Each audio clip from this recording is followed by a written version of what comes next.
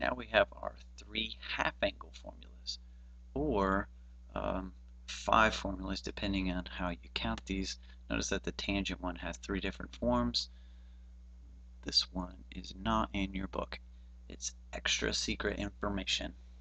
Okay, so we are using these formulas so that we can deal with half angles. This will also allow us to find some more exact values of some trig functions. So notice that we've got plus or minus on these square roots.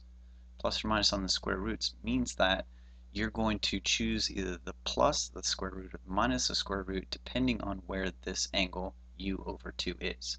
So let's say we're dealing with the sine and let's say that u over 2 was in quadrant 1.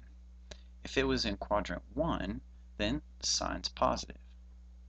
If it's if u over 2 is in let's say quadrant 3 then we're going to use the negative one because sine is negative for that angle. Same thing is true about the cosine, just different quadrants. And then the reason why we've got three different ones for tangent is you can see just like on the power reducing formulas after you prove the sine and the cosine to prove this one for the tangent you just divide the sine by the cosine.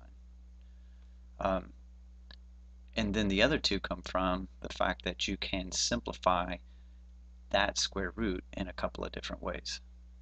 So what we're going to do is we're going to prove one of these. I don't remember which one, and apparently it's the sine. Okay, so to prove the sine of 2u, notice that over here we've got ourselves just a u. And also notice that this kind of looks like, like taking the square root, it kind of looks like the power reducing formulas. Let me backtrack here just a second, where we just take a square root. The only difference is that this is u and this is 2u. So what we're going to do is just write in here, put ourselves a u over 2. So if I start with sine squared of u over 2 and then I'm going to simplify this down to make it look like this formula. Applying the um, power reducing formula that should be equal to 1 minus cosine of 2 u over 2 all divided by 2. Now I just have to simplify this right here and it should be pretty simple.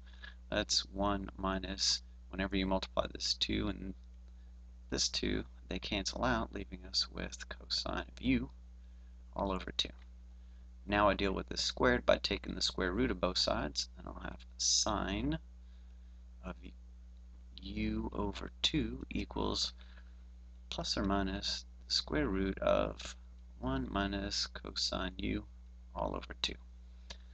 You would do much the same thing for the cosine.